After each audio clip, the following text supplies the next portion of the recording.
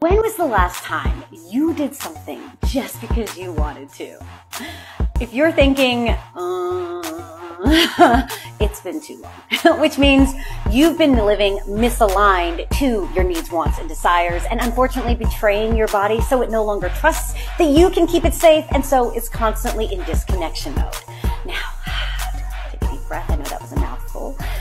And it's likely true because this is just how our bodies habituate. So now that doesn't happen because you're broken, or you're pathetic, or you're a pushover, but because your body learned a long time ago to appease other people's needs so that you're accepted. That is what keeps you safe. Humans are social mammals. Acceptance is our primal need. So this likely also got reinforced because people see you as an angel, super generous, super sweet and kind. Meanwhile, your body's like, hey, what the fuck are you doing?